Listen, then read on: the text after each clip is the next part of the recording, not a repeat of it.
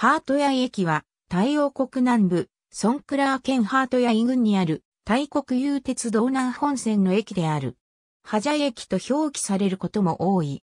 1914年、大国鉄南元線の一部区間ソンクラー、簡単間の開通により、ハートヤイ地区を経由する鉄道が建設され、その後、南方への鉄道分岐点の整備、ハートヤイ市街地の建設に伴い、1924年に当駅が開業。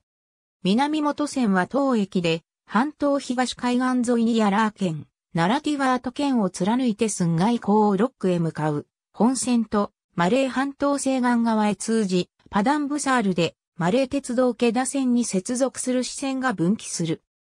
対マレーシア間の国境をまたいで運行される3つの国際列車、すなわちバンコクとマレーシアプルリス州にあるパダンブサール駅を結ぶ寝台特急第45、46列車、同じくパダンブサール駅を結ぶ短距離列車第9479億4894万9950列車、及びイースタンオリエントエクスプレスはこの支線を経由する。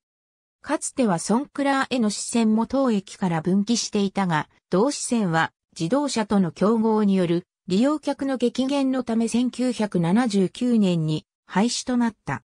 バンコク方面への長距離直通列車やマレー鉄道への直通列車のほか、南部地域各線のローカル普通列車も運行されており、1日28本の列車が発着する。長距離列車はこの駅で編成の分割、併合を行うものも多い。当駅は南本線南部の運行拠点として機能しており、駅構内に隣接して大規模な機関区、客車区が設けられている。大国有鉄道南本線の本格的な工事は北側1カ所、南側2カ所の3カ所より開始された。当駅はソンクラー駅側からの第一期工事により1913年1月1日に開業した。開業当時の駅名はウータパオ駅であったが1924年に現在の地に移動後、ハートヤイ駅となった。